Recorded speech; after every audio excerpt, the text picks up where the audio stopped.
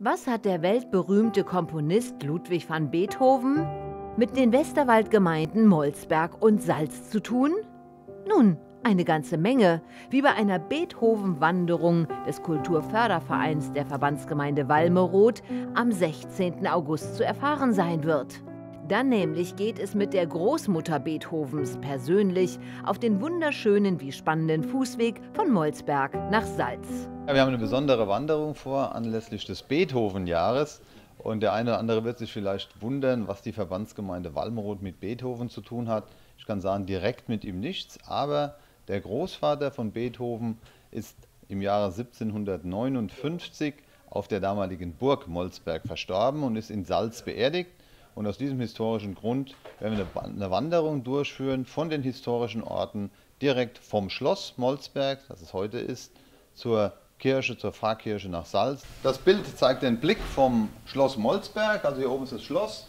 Wir starten hinter dem Schloss, haben dann diesen Blick und an dieser Stelle ist die Pfarrkirche in Salz und den Weg hier runter durch diese wunderschöne Landschaft, den werden wir nehmen. Überliefert ist, dass der Oberhofkoch wohl an einer Lungenentzündung gestorben ist. Im Westerwald herrschte zu der Zeit eine Bruthitze.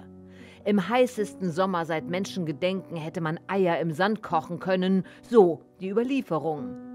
Heinrich Kevelich hatte sehr viel zu tun. Der Wechsel von kalten Innenräumen in die Gluthitze beschleunigt wohl den Krankheitsverlauf. Weitere Zusammenhänge jetzt aus berufenem Munde. Beethovens Mutter Maria Magdalena stammt ja aus Koblenz und ähm, sie war zwölf Jahre alt, als ihr Vater hier in Molsberg gestorben war. Ihr Vater Heinrich Keverich war äh, Oberhofkoch des Kurfürsten in Ehrenbreitstein, wo er residierte als barocker Fürst. Und in dieser Zeit ähm, hat man halt überlegt, die Burg in Molsberg abzureißen. Es war die, äh, der Familiensitz der Familie von Walderdorf, die hier eine große Burg hatte. Und man entschied sich, diese Burg abzureißen und ein neues Schloss zu bauen. Und in dieser Zeit, die Burg stand noch, äh, ist eben der Kurfürst vermutlich hier auf der Burg gewesen und hat ähm, hier äh, mit seinem Hofstaat residiert eine Zeit lang und Heinrich Keverich als Oberhofkoch kam eben mit nach Molsberg für eine kurze Zeit und verstarb hier.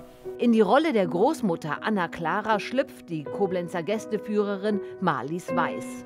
Sie wird die damalige Zeit wieder zu Leben erwecken. Rund um ein schönes Ereignis, das von musikalischer Begleitung und gemütlichem Ausklang umrahmt wird und zu dem schon jetzt viele Anmeldungen vorliegen. Wer Interesse hat, sollte sich also beeilen.